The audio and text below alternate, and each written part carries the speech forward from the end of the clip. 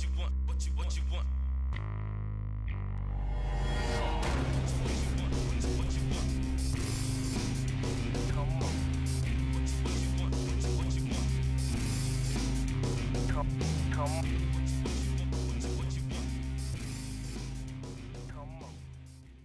My name is Roderick Shepherd.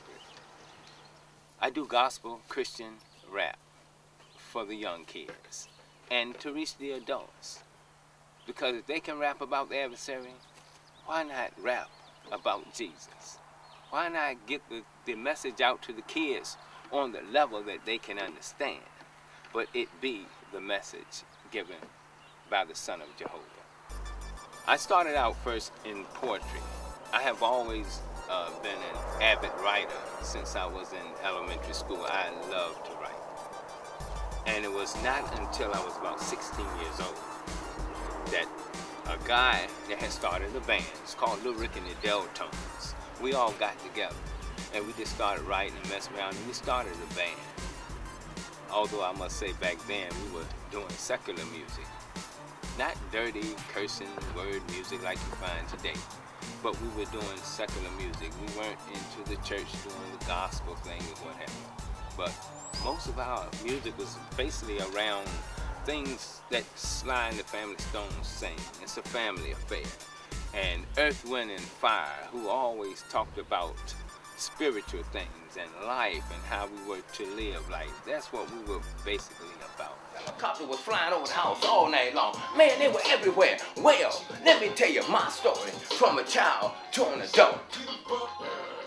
Parents, you can raise us or we'll be out in the streets. That's where the devil roaming. We will be his streets where there be gang and prostitution and drugs everywhere. Be a parent to the God, raise us if you dare. Parents, you can raise us or we'll be out in the streets. The That's more God was bringing himself to a reality and telling me what he specifically wanted me to do in my music, the message that he wanted me to, to portray to his people. I thank God that I'm here today because I'm not supposed to be here. I took a bullet wound to the face innocently at a gas station one night. The bullet came out the side of my head. And the doctors told my mother that it was a 50-50 chance and it was all up to God. And as you can see, 37 years later, I sit here on the back of this truck in an interview to show you the power of God. I walked out of the hospital after 12 days. And although I've had some ups and downs and many battles, especially with my psyche trying to deal with what happened to me those many years ago, I never lost that desire and that gift to want to make a difference in life. I want to be remembered when I leave this earth as being one that came and made a difference in somebody else's life. Ways of God, that there are two roads to eternal life because we, all those that are here, that have came and are to come, will never die again. We will live forever.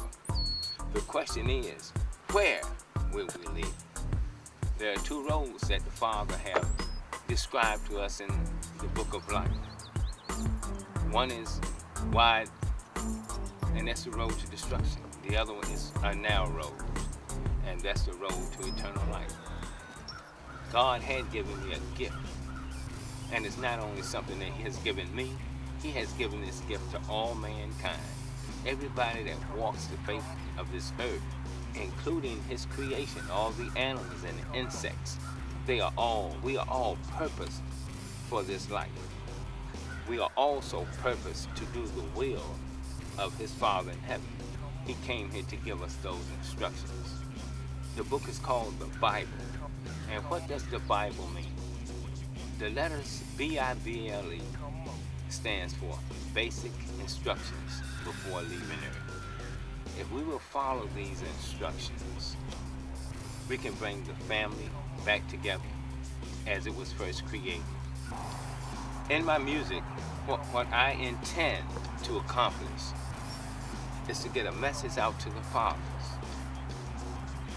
that your children are your seeds.